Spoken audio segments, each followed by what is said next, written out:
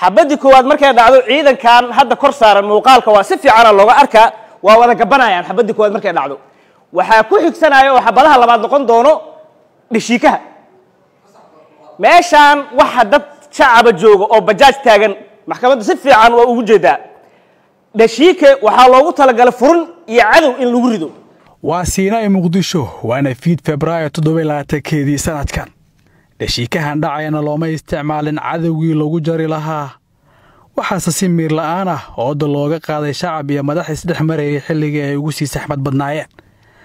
Haynaga dabageeyey sida ay wax u dhaceen guddoomiyaha degmada yaakshiid salebaan maxamuud fargax oo ilaa iyo hadda la tacaalaya raadkaasi waxshiga ah ee ku yimid rabitaanka guraacan ee ka soo gaaray dhacdadii habeenkaas.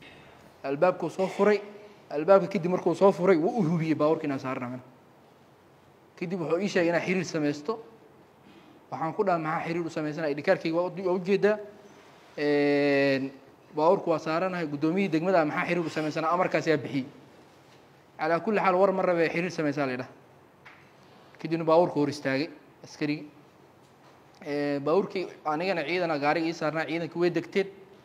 Ciidankii markay degteen dhulka daateena xoogaa meesha in mushkilad ka dhalanaysaan u arkay. Waxaan baabuurka igu waday sargaal ka tirsan ciidanka nabadsugidda oo loo magacaabo cukaash sargaalkii waxaan dhaha dego ciidankayga dhulka jooga dhan baabuurka soo saar. Si mushkilad meesha ugu dhicin. Wuu degtay dhammaan wuxuu ku soo celiyey gaarigii. Markuu gaarigu ku soo celiyey ninkaan xiriir samaysan dhahay waxaa ii yimid askari kale oo oo booliiska ka tirsan wuxuu igu dhahay guddoomiye anaha wacaayo taliyaha raali noqonay ii kaadi waxyar marka aan sidaas sugaayay gaari cabdibilaa oo dhishii ka saaran yahay soo istaagay. Horteeda meel u dhow soo istaagay. Markaas cukaasha dhulka joogay gaariga cabdibilihu aado oo la hadlaya macnaha oo dhahaya maxaa difaac u gelaysiinoo meesha? Dhibaatada ka jirta maxay tahay? Aniga markii dambe go'aan waxaa ku gaaraba inaan meesha ka laabto. Oo aan jegboontiyadaas kale iska maro. Anigoo darawalkii cukaasha dhulkii iga taagan yahay albaabaa iga furnay albaabka gaarigaan soo xirtay anigoo sugaa inaa baxo aan daahsaday ciidankii meesha xoogaa waa daahsaday waqti waqti badan igu qaadatay inay oo soo laabto asigana gudahoo sii galay. Kadib albaabkaan furay albaabka markaan furo saa u degi maago dhihi maxaa dhacay maxaa inta u taagana dhihi maago xabada igu soo bilaabatay albaabka markaan furi maago. Kadib albaabkaa soo loo garaystay gaarigaan dhashiikaan isla markii xabadda ku soo xigay micnaha xabadda markay dhacday dhashiikaan ku soo xigay waxaa gaariga ku waday guddoomiyaha sargaal amniga iyo howlwadeennada amniga muqdisho door weyn ku leh. Laba xidigle cukaash axmed maxamuud.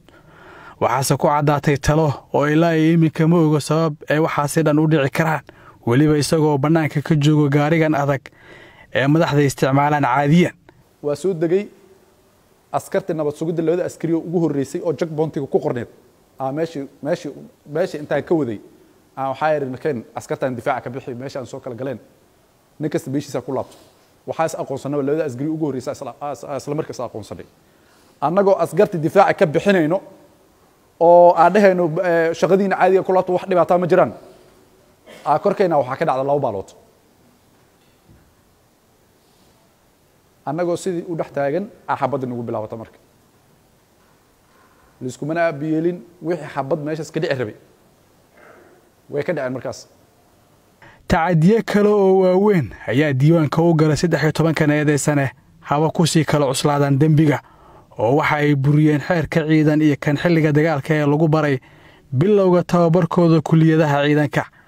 In xabadda dhashiikaha markay joogsatay oo wax xabada aysan dhacaynin kadib laba askari oo istaafka guddoomiyaha degmada ah oo isdhiibay gacmaha taagay la dilo oo weliba si arxan daraa loo dilay ayagoo la yaqaano inay askar dowladda ka tirsan yihiin weliba mid ka mida uu buliis yahay isagoo gacanta taagayana xabado lagu dhuftay. Kadibna laga qaatay ayagoo dhaawac ah qoryihii iyo booshashka ay wateen. Ma jirin wax gargaara oo loo fidiyey. Saddex saacadood ayay yaaleen ayagoo dhaawaca meesha. Kuma koobna khasaaraha nafeed iyo tan hantiyadeed inta kaamirada qarsoon ee duubtay.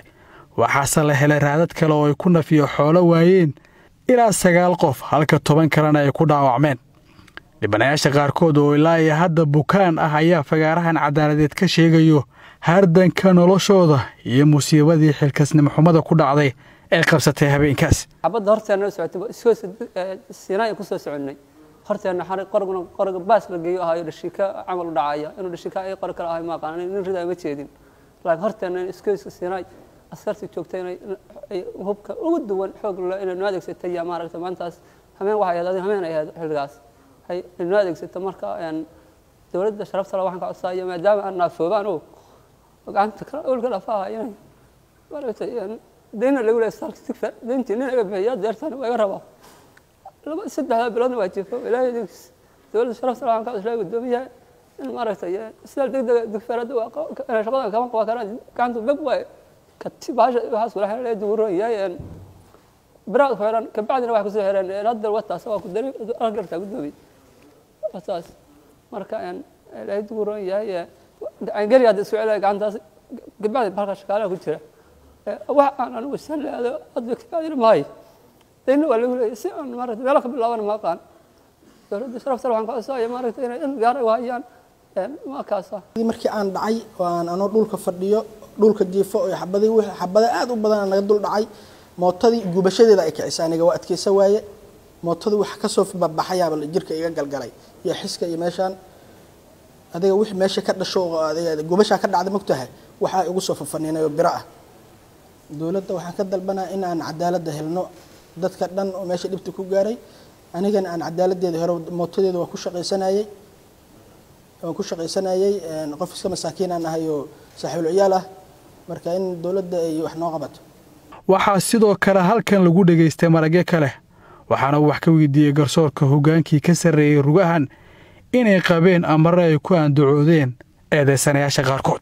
Waddada markaas baawur caadiya maraysay cabsiyaa jirtay oo xoogan baawur oo shacab ay leeyihiin iyo qof xanuunsan iyo baawur laga sii daynaya meesha way jirtay guddoomiyaha weligiisoo meesha mari jiri iyadoo waddada xiran iyadoo furan amar eh markaas in ani la soo wacaayo oo guddoomiye degmo ay soo wacayna ma jirin. May guddoomiyaha iyo qof walbaba wuxuu xaq u leeyahay waddaas mar la hubay laakiin. Warqadda dhakhtarka ee caddaynta sababta dhimashada ayaa ku lifaaqan galkan. Sidoo kale waxaa la dhegaystay baarihii kiiska oo si qoto dheer uga sheekeeyey marxaladaha iyo go'aanka gungaarkooda xafiiska xeer ilaalinta ayaa garsoorka weydiistay inaan looga gaabin qodobada sharciga ay ku soo eedeeyeen saddex iyo tobanka eedaysane waxayna si faahfaahsan fagaarahan cadaaladeed ugu soo bandhigeen doorka uu mid kastaahi leeyahay iyo ciqaab u dhiganto falalkii ay geysteen. Waa kan xeer ilaaliya axmed cabdallah. Ku filan in eedaysanayaashan ay geysteen faldembiyeedyada aan ku soo eedeynay. Bacdamaa maxkamadda aan hor keennay markhaatiyaal noolnool iyo dhibanayaashii dhibka loo geystay bacdamaa maxkamadda aan hor keennay hubkii eedaysanayaashan ay ku hubaysnaayeen bastooladihii ay wateen iyo qoryihii ay wateen rasaastii ay rideen ee caddahay. Mudane guddoomiye bacdamaa aan soo bandhignay kaamiradii c c t v kaamirada isgoyska ku xidhneed oo laga wada arkaayo dhammaan eedaysanayaashan faldembiyeedka ee goobtaas ka geysteen. Ma ahayn furin dagaal ee waxay ahayd isgoys dhan oo zaxmaddiisa ay badan tahay dadweynahana ay ku badan yihiin looguna talagelin in rasaas lagu rido. Sidaa darteed mudane guddoomiye waxaa maxkamadda si xushmad looga codsanayaa faldembiyeedkan ma aha faldembiyeed dowladda ay qaadanayso sida qareennada ay sheegaayeen. Ma ahan askar ku jirtay operation loo diray oo howlgal loo diray oo wixii ay geystaan ee dowladda qaadaysa ma aha. Wax walba oo meeshaas ka dhacay mas'uuliyaddeeda waxaa qaadanayso gacantii geysatay. Sidaa darteed mudane guddoomiye eedeysanaha koowaad oo ah ninka gaandhariga dhashiikaha ka ah oo lagu magacaabo sheelare wuxuu goobtaas ku dilay lix muwaadin oo soomaaliyeed wuxuuna ku dhaawacay afar qof oo muwaadiniin soomaaliyed uu ka mid yahay guddoomiyihii degmada iyo guddoomiye ku-xigeenkiisaba. Waxaan maxkamadda si xushmad la uga codsanayaa. Waxaan tusinay maxkamadda muuqaalkii dadkii uu dilay eedeysanaha koowaad oo wejiyadooda laga dareemaayo rasaasta dhashiika sida ay u goysgoysay waxaan maxkamadda ka codsanayaa in eedeysanaha koowaad maxkamadda ay ku xukunto dil toogasho ah oo ah qisaasta lixda marxuun oo ku dilay goobtaas. Weliba waxaan maxkamadda ka codsanaya sida ugu dhaqsiyaha badan in loo fuliyo dilkaas uu geystay eedeysanaha. Si la mid ah maxkamadda waxaan ka codsanayaa in eedeysanaha labaad iyo saddexaad oo dilay askari muwaadin soomaaliyeed ah oo booliiska ka tirsan oo isdhiibay gacanta taagay qori isagoo haysto oo jawaabi karo dagaalami karo balse ka doorbiday maadaama ciidanka meesha joogay asagaba ay isleeyihiin isagoo isdhiibay ay labadaas eedaysana dileen. Waxaan maxkamadda ka codsanahay in dil toogasho ay ku xukunta labada eedaysanaba si la mid ah mudane guddoomiye eedeysane axmed mire cismaan dhagaweyne wuxuu dilay askari soomaaliyeed oo asagoo u jeedo weliba aag bedeshay uu si bareera wadnaha ugu dhuftay xabad labaadna u geliyey. Sidaa darteed mudane guddoomiye waxaa codsanaya in dhagaweynena maxkamadda ay ku xukunto dil toogasho ah oo ah marxuumkii uu gacantiisa ku dilay. Qareennada ayaa iyana doortay inaan la isugu riixin qodobada muwaakiliintooda waxayna maxkamadda ka codsadeen in la kala xadeeyo eedda iyo eedaysanayaasha. Maxkamadda sharafta leh waxaa ka codsanayaa maxamed yuusuf cali iyo axmed cali axmed oo mas'uuliyad darradaas lagu eedeeyey in laga aysa gelin aysa ahaynin dad gali dembiga lagu soo eedeeyey sidaas darteed waxaa codsanayaa inaa xoriyadoo dib loogu soo celiyo. Qof afar boqol iyo soddon afar lagu eedaynana waxay u baahan tahay caddaymo rasmiya maadaama la waayey caddayn ku saabsan maxamuud cabdi maxamed nuur master abooto inuu geystay dil bareer ah kaasoo xafiiska xililaha ku soo eedeeyey waxaan maxkamadda sharafta leh ka codsanayaa in master abooto xorriyaddiisa dib loo siiyo maxkamadduna waa mahadsanta fadhigan oo qaatay saacado u dhigma labada garab ee dacwadda ayaa soo dhammaaday goor dambe oo maalintan ah. Waxayna garsoorka u sheegeen dhinacyada in go'aan ay ka soo saari doonaan sida uu ku dhawaaqaya gaashaanla sare xasan cali nuur shuute guddoomiyaha maxkamadda darajada koowaad ee ciidamada qalabka sida.